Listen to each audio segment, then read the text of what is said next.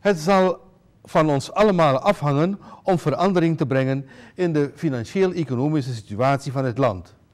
Dit zegt Sigmund Proeve, directeur van de DSB-bank.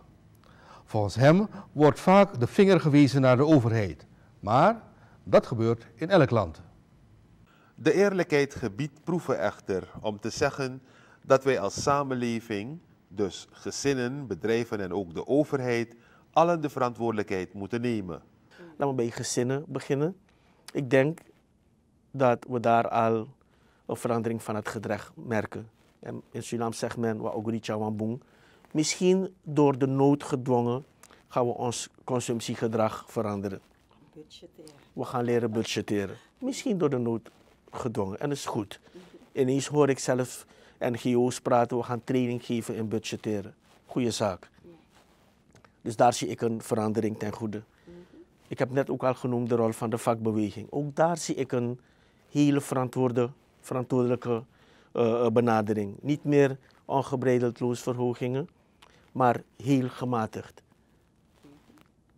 Bij de bedrijven zie ik dat ook. Bedrijven hebben nu door dat voorraden à la dol aanhouden. Betekent dat je voorraadkosten maakt. En dat je dus veel meer moet kijken wat die samenleving wil. De DSB-directeur wijst er verder op dat veel meer bedrijven nu kijken naar wat er lokaal geproduceerd kan worden. Het belangrijkste is volgens Proeven echter dat bedrijven nu nadenken over de exportpotentie. Wat kan vreemde valuta opleveren? Hij noemt als voorbeelden de export van water, steenslag en groenten. Voor proeven is het ook belangrijk dat de overheid doet wat gezinnen en bedrijven doen. En daar vind ik dat het best ietsje meer kan. Uh, de uitgaven van de overheid moeten scherper tegen het licht worden gehouden. Ik, um, ik denk, zoals u en ik dat doen, wat we niet hebben, kunnen we nu uitgeven. Moet de overheid dat veel meer doen. Ik zeg met veel klem veel meer. Ze doen het al, maar het kan best, het kan best meer. Um, uh, met name op het punt van de vieze uitgaven.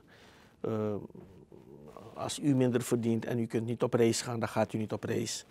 Ik denk de overheid dat voorbeeld ook zou moeten geven. Je kan een heleboel remote doen. Uh, wij doen dat ook. Als je niet moet reizen, dan reis je niet. Um, ik ga niet bepalen wie wel en wie niet reist. Daarvoor hebben we een regering en een president en een vicepresident. Maar het signaal dat ik wel afgeef is dat ik vind dat het meer, er kan meer bezuinigd worden. Sigmund Proeven, directeur van de DSB-bank. Hij was gisteren te gast in het ATV-programma In Gesprek Met. Hoewel de DSB het eerste halfjaar 2016 met verlies heeft afgesloten, geeft Proeven de samenleving de geruststelling dat het DSB kerstconcert, kerstconcert normaal voortgang vindt.